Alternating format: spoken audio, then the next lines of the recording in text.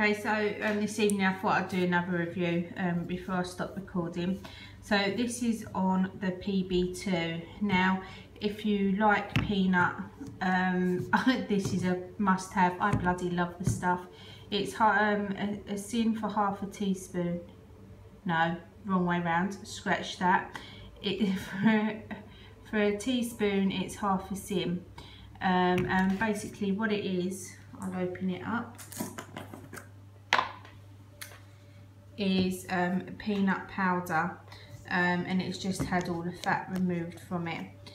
Now this I use to make a satay sauce. I also use mix it up with quark um, to make a peanut butter cream.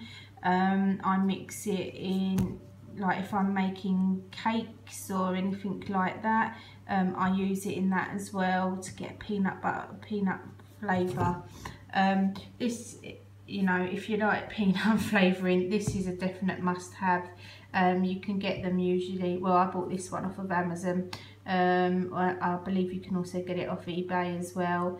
Um, they do do a peanut chocolate. I have not tried it because, um, to be honest, I'd just rather have the peanut. So there's my review on PB2. Um, yeah, big thumbs up from me.